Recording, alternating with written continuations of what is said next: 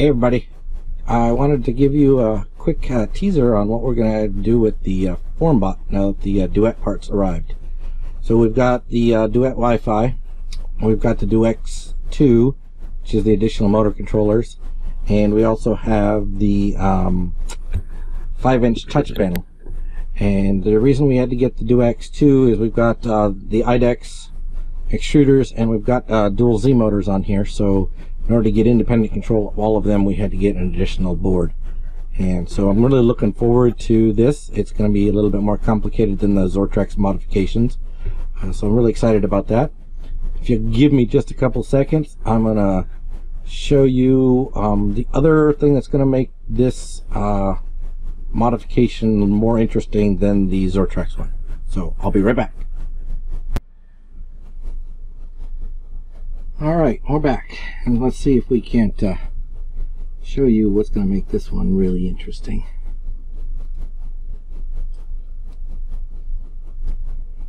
Might be interesting because I can't get the equipment apart.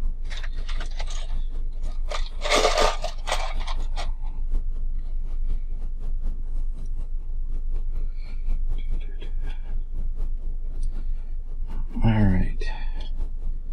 So First off, you'll probably notice got a little bit of a non-standard shroud cover here. Um, that's a modification I made for the Palette, the Mosaic Palette, uh, so that I could bring the Bowden tube right here, have a fixed distance and still get some access to the filament to feed it in because this extruder is a little wonky, which not going to be a problem anymore once you're done with this modification. Alright, so that comes off. So what's going to make this one interesting is we've got this board here that uh, they're using a VGA cable, 15 pin VGA cable to bring everything down to here, which includes the uh, extruder wiring. So they've doubled or tripled up some of the wires in here to get enough current through that VGA cable for this hot end, um, which that's just not good. So part of what I'm going to do is I'm actually going to redo this board so that I can have an appropriate connector come down here. And, give me just a second, I'll finish getting this apart we'll show you a few other bonuses that we're going to get out of doing that. Okay, so we don't have to take that off. We do need to get these off.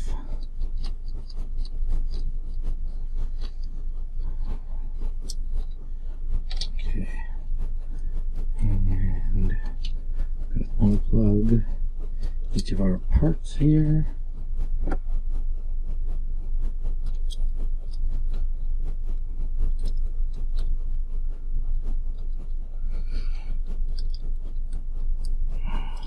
Okay. So once those are all off like that, then this guy comes off like this. Right. Okay, so we're gonna, I'm gonna redo this board with appropriate connectors. The reason I'm gonna redo that board with the appropriate connectors so that I can do this next part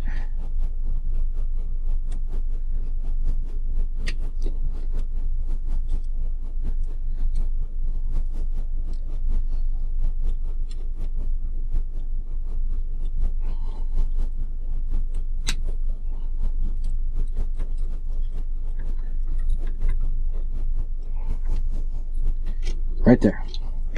So see, the entire extruder assembly is held down by two bolts. And so I'd like to take advantage of that and design everything to mount on the same carriage. And we're going to start with the Titan Aeros because that's what I have on hand. Um, got a couple of uh, mosquitoes um, on their way. And there's a little back order on the um, thermistors for those. But uh, so initially we're going to start with the Titan Aeros. We're going to set this set up so we can get dual Titan Aeros on it. And I'm really looking forward to doing this with the Duet board on here because if you're paying attention to E3D's tool changer, the Duet board is running their tool changer. And so while the automaticness of the tool changer that E3D is, is touting is awesome, I would really just like the ability to just swap heads. without having to reflash my firmware every time. And with a dual IDEX system, be kind of cool to do 175 over here, 285 over here, or any kind of combination thereof of stuff. You know, one with a hardened hot end or hardened hardened nozzle, one without, depending on what we're doing. Right tool for the job. So right hot end for the job. So we're going to do a custom board. Uh, get to break out my Eagle skills, Fusion Eagle skills to go ahead and make a new board. We're going to get some proper connectors with the appropriate amount of number of wires going through it.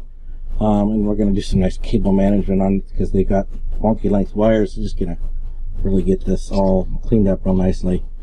So custom board so that the hot end can go on and just a couple of clips uh, with wires and it's up to date and then with the advantages of the duet board we can change what tool is on there within a matter of minutes and that's what I'm really looking forward to with this build and why it's going to be a little bit more complicated now one really big advantage at least for me that I'm excited about with this.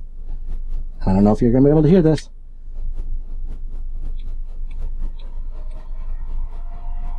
But this control box is going away because of the Duet Wi-Fi. It's got two very noisy 40 millimeter fans in it. And it's just creating this awful lot of background noise and making this machine really noisy. So I'm so excited just for even getting rid of that.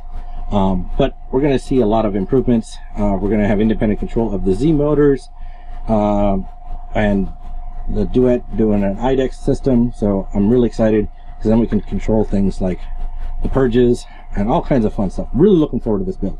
So um, we'll see you uh, next time. Thank you.